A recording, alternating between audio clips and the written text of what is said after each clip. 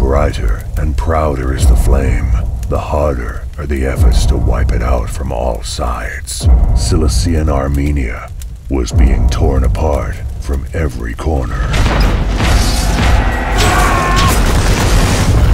The flames of the sea cannot be quenched by water.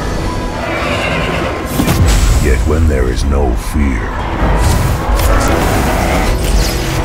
it is here that history is forged by those who win. Cilicia, the land of lions.